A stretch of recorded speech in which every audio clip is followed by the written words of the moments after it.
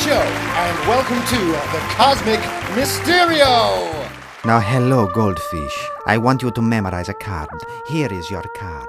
You do not tell me what it is. But you just said it's a card. Now I shuffle the card. What's a card? Now I show you a card. Is this your card? Hey, do a card trick No, no, no. You've lost your card? It's here. Hey, look, That- a magician. My card? I don't No, have a card. no. Well, that's about all we have time for, No. so until next time.